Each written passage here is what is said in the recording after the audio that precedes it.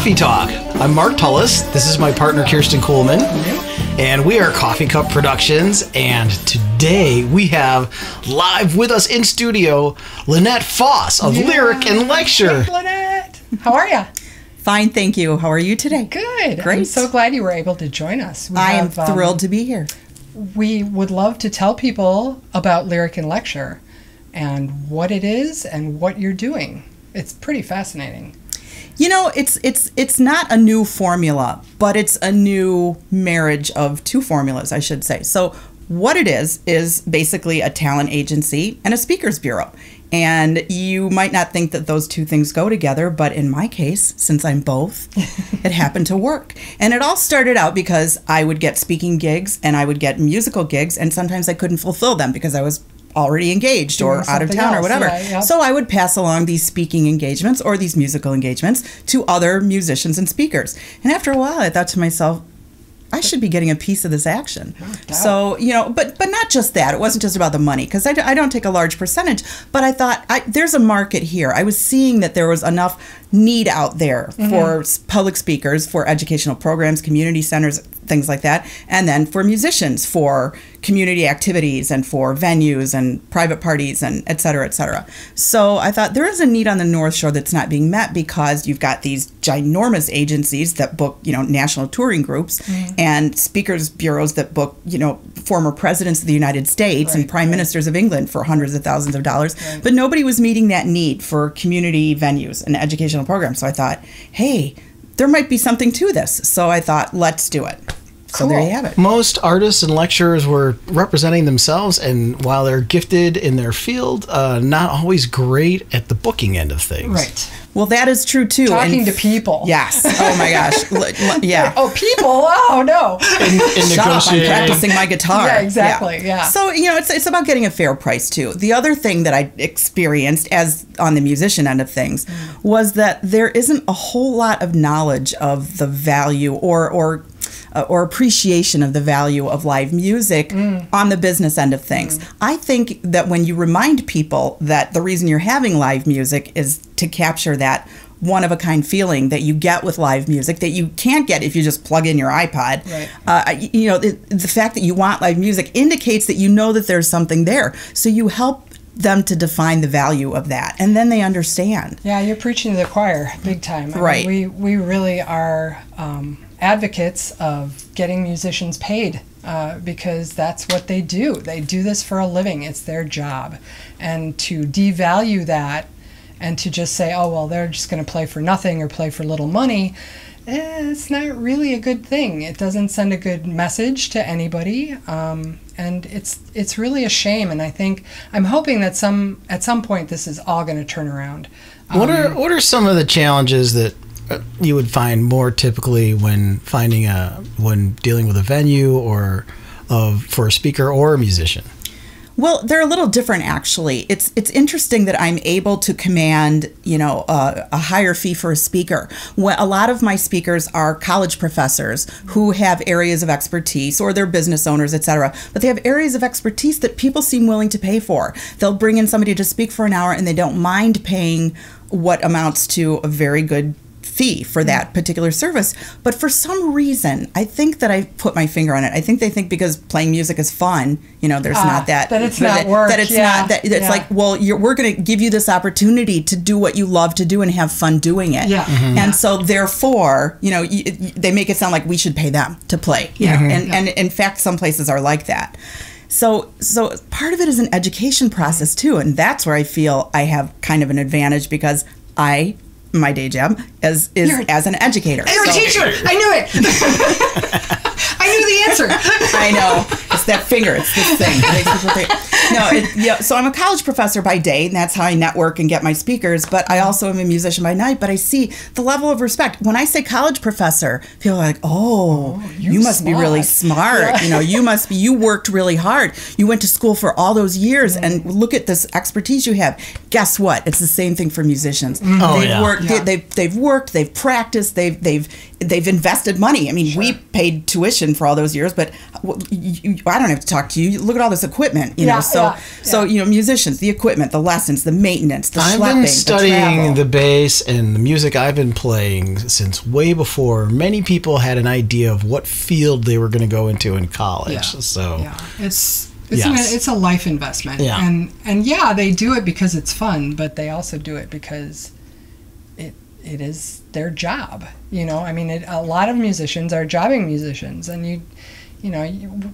You can't just discount that. You, it's not. It's not a. We get to give you this opportunity. It's a. We would love to have you there. Let's get you some exactly some bucks for that. Of course, you know? and that and that Yeah. and and then making people understand that okay, we can have several tiers of music quality at your yeah, event. sure. We can I can call your best friend from high school and see if her middle school age son is Yeah. done with guitar lessons. and Yeah, I can yeah, probably get him for fifty bucks, or maybe he'll just do it for food, you know, Yeah. and all that. And Yeah. don't tell his mom he drank seven cokes, but. But that's not the level you want, right? So No. once you sort of establish that baseline, and they're, they're like, yeah, maybe, you know, this is a corporate event and we've got a lot of clients coming. Mm-hmm. Maybe we do want to up our musical game a little bit. Maybe we want that music to be of this professional level. Like anything, you get what you pay for. Yes. Yeah. And it's not saying that we're going to, you know, bilk you and overcharge you for music. No, we're assigning a value to it. Right. You know, and you need to understand that value too. Yeah. You know, I'm not just stro- stroking you because you're a guest on our show, but one of the exciting things about last year and this year is getting to know all things Lynette Foss. Yeah. And, you know, Yes. Lyric and Lecture is going to be one of our first presenting sponsors for the music series at the Wednesday Gourmet Evening Market, the Highwood Gourmet Evening Market. Yes. And Every uh, Wednesday from 6 to 9 in the summer, starting June 5th. And That's when the music starts. The market happens at 4:30, Yep. and Lynette is presenting the band The Love. Right. Um, so Lyric and Lecture presents The Love. At the market. It's very cool. So that is that is the thing. Is like we are assigning a value to the music, and I think that's great. And uh, talk to us a little bit about why you wanted to do that. Well, first of all, I've been attending the market for years. It is a destination in the summertime. On a beautiful summer night, what better excuse than go wander around some cute little boutique places and with a cocktail in your hand, by the way, you know, people, Highwood lets you drink in their park. Yeah. And so Yes. you can walk around with Yeah. your cocktail and see all this cool little artists and stuff and hear live music. And it mm-hmm. doesn't cost you a thing mm-hmm. except what you want to spend. And there's lots of cool stuff to buy there too. So it's a destination. I see people coming from all over. I am one of those people who comes from all over and I bring girlfriends in from all over. And we and it's an it's an event. It's the best night out in the summer. You know, it's and you could say, "Oh, well, there's Ravinia." But you know what? This is better than Ravinia in a way because it's a lot cheaper and you can still drink and have fun with your friends and it's a great night out. So so there's It's opportunity here. Oh, it, it is a lot, lot cheaper. is a lot It's a lot easier. It's, a lot easier. So easier. Yeah, it's easier, it's cheaper, but it's still on the train, so you can take the train down Yeah. if you want, and and it's just a great experience.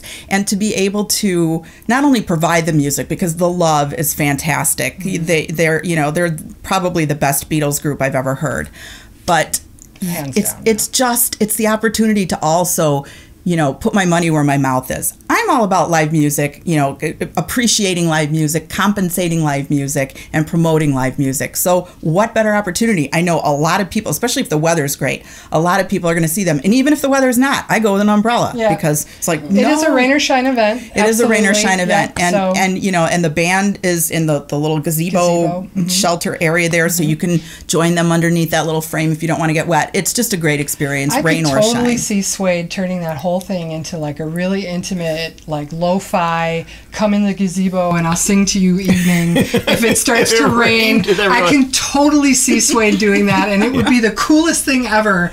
So yeah, definitely if it's raining, come because you could be part of something so mag- never know. magical. Yeah, totally. Well, and the other great thing about Suede, and I've seen this with other groups too, because Mark, with your group Shelter Dogs too, you just never know who's going to come and sit in, and so you can have these really fun, interactive musical events in addition to whatever else you want to do. But what I've always liked about the market too is that it does showcase the value of live music. Highwood's great for that, by the Yeah, way. yeah. Festivals where you have multiple stages, there's always live music. You're not piping in somebody's iPod, which is fantastic. Yeah. So, you know, it, and it's a way to do that on a sort of intimate community level, and I love it. So I'm thrilled to be a part of it. I saw I'm, last year uh, bands. Thank you, Lynette. Thank, the way. yeah. thank you. That Yes. really helps us out. Celebrate So, Highwood. thank thanks you. Totally. Coffee Cup Productions. They're Thanks doing you. a great Yes, job. So, definitely. the, Highwood, festival destination of the North Shore people, maybe even the whole Chicagoland area. Just wait till Taco Fest. I just wanted to jump on on her comment about you know it's almost like Jazz Fest where like every band brings out this giant horn section. Last year, everybody brought like extra musicians to fill it. Word got out that Dirk was doing sound, and then everyone's like, "I'm going to Oh, bring well, this Dirk's and doing this." sound, Oh, yeah. Dirk's doing sound because yeah. everybody knows that Dirk will make them sound the best they can possibly Right, sound. yeah. You know, he's he's got that gift, and Dirk so is doing sound again this year, people. So you know. Well, come on out. Jump Don't on miss that it. bandwagon. You know, I'm promoting the love specifically, but I've never been to a market where I didn't love the music. It's Oh, always good. fun, you. and you know, and you know the, the the acid test of that in any outdoor event, right? It's the little kids up there dancing. Yep. Yeah. When you've got the little Yep. kids up there dancing, you win. That Yep. because that's it. I fell in love last year with a little boy named Alexander. I think he's three years old, and he his grandma brings him to the market every week. And every week he's up there with his little ice cream cone, and he's dancing with his ice cream cone. I think I've got like 800 shots of him. he is the cutest thing in the world, and I'm wanting I'm personally sending you an invitation, Alexander. I want to see you there every Wednesday. So I'm really excited. Ice cream's on be- Kirsten and I, Mark. I will. Yeah. I will. I will get you an ice cream.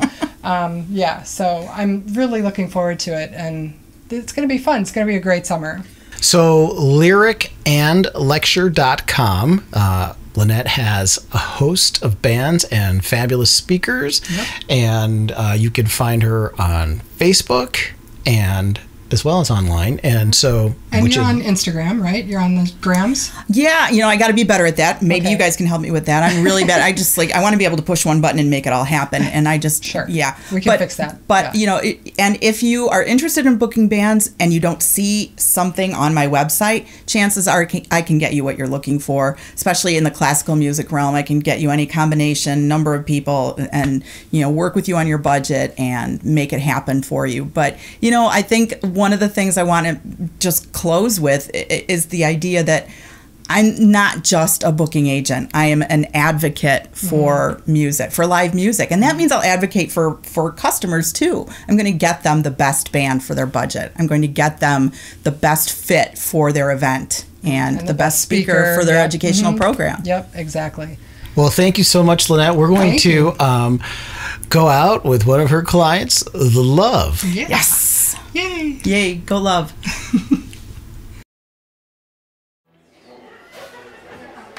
He's a real nowhere man, sitting in his nowhere land, making all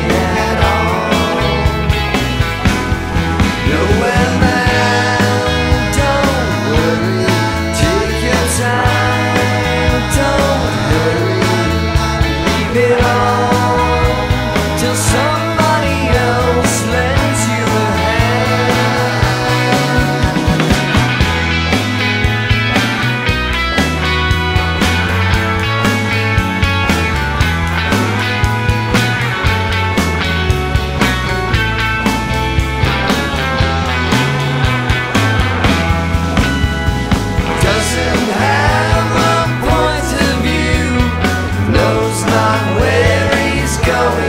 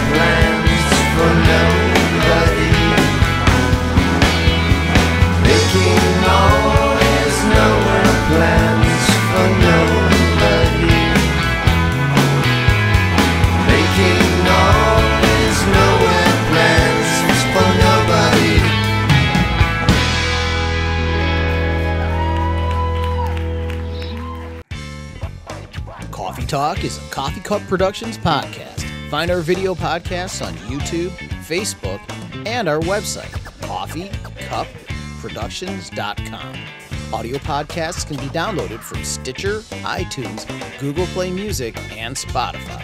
Search for Cawffee Tawk, C A W F F E E T A W K, Cawffee Tawk.